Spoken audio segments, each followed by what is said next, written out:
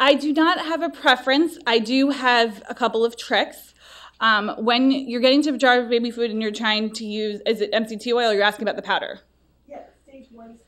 Stage one, and stage two, I think typically, I kind of try to do it by food group, so to speak. Um, I find it's easier to use the oils in the meats and things like that. They tend to take relatively well to that because there's a higher, my surmise, summarization is because there's a higher protein and a little bit of a fat content there. So I think it mixes better than when you're trying to add it to the fruits and the vegetables. So sometimes I'll use low dose amounts to do fruits and vegetables if we can.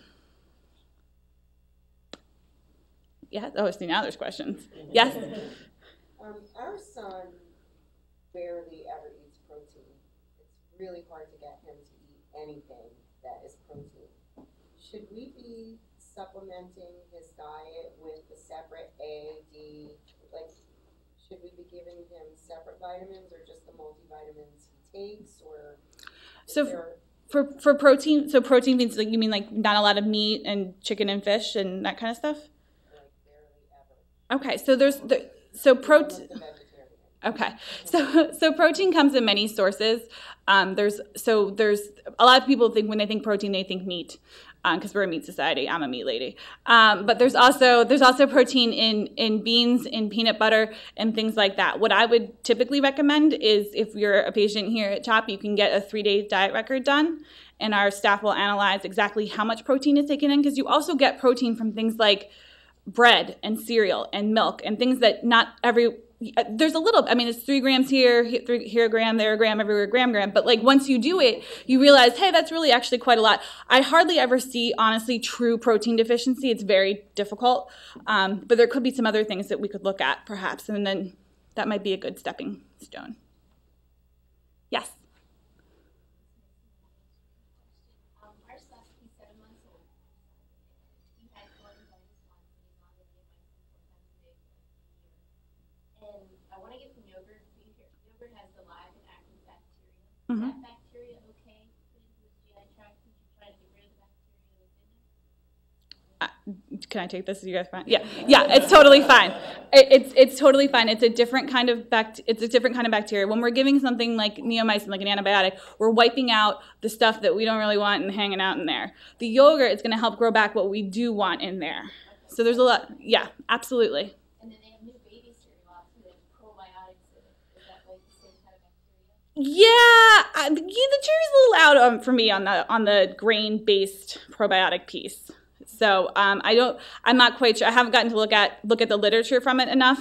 Um, whereas the yogurts, I do know that what they're giving you is actually what they're saying they're giving you. Yep. Yes.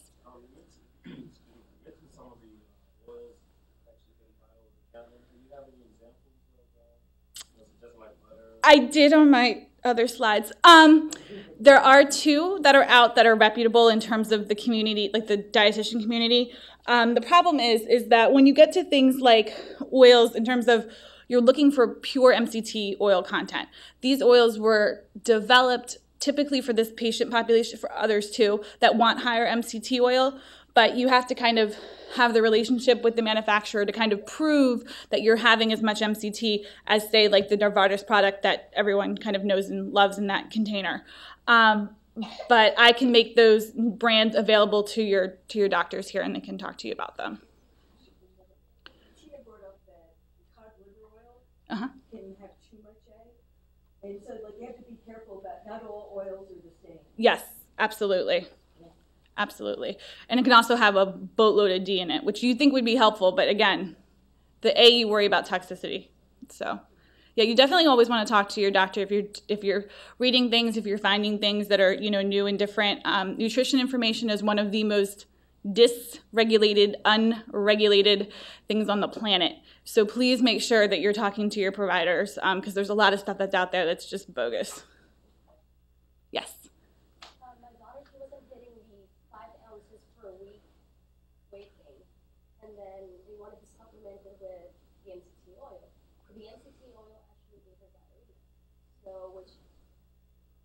actually lost. My balance in one week. Mm-hmm. So it wasn't really a good thing. What can I do? And then I was going to start with the cereals and the baby food and just stopped that for a little while just to intake with milk. What can I do?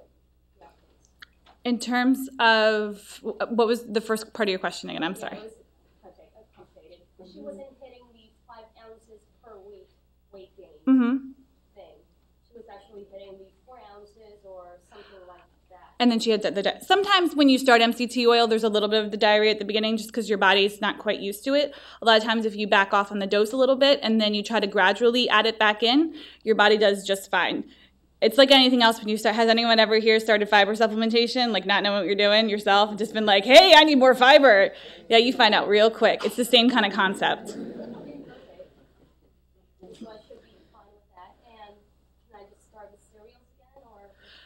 I? Usually like to wait a couple of yeah. I was gonna say that sounds a little bit, but I always usually like to wait till things get a little bit down to baseline before you change anything. Because if you change two things at one time, you never know what happened. Anyone else? Yes.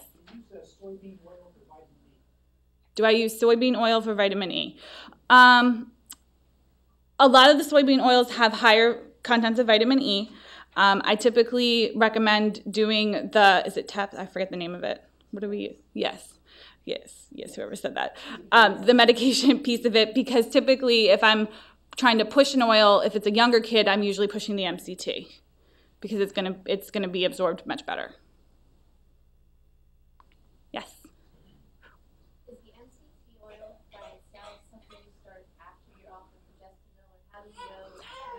It- depends. That's a very clinically re- relevant question. It really kind of depends on the kid's clinical presentation. The MCT oil, the big bonus of it is that it doesn't have to use your liver to get absorbed, and that's bonus for this population. Um, so a lot of times it depends on the cholestasis. It depends on a lot of things for for each kid. Um, so. If you, if your docs want you to be on it, they'd be prescribing it. Is usually the way I would say that. Anybody else? Yes. Hmm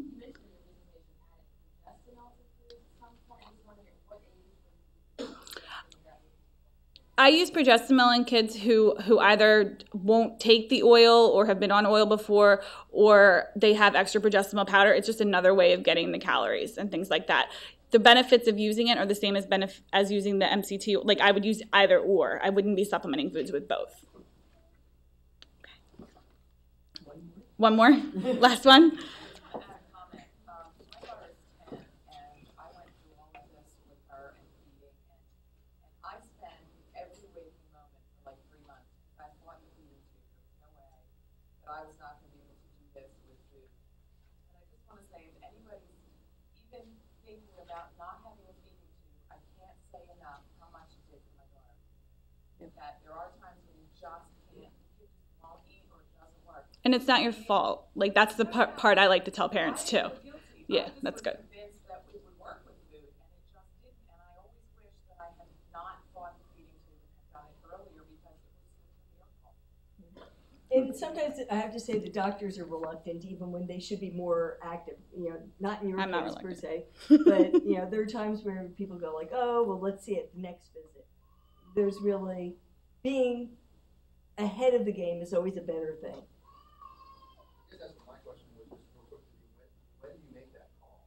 How do you know that, okay, you're gonna make a decision today because of X, Y, and Z, and now we're going to the two. So it's, similar, you know, Can we bring that up at the panel? going to the Yeah, we can- well, Let's try another week, let's see what, what's looking like next week. You know, um, nutrition is something that almost everybody's willing to talk about all day, and it's very important. But one of the things is let your doctor know that you're not resistant necessarily, because they may be thinking, well, you know, maybe we should wait another week; it'll be better. There's n- hardly any harm in trying it. It's a little bit complicated to set up, but it's not harmful. Just It's just more nutrition. Okay. And I'll be around for the panel. So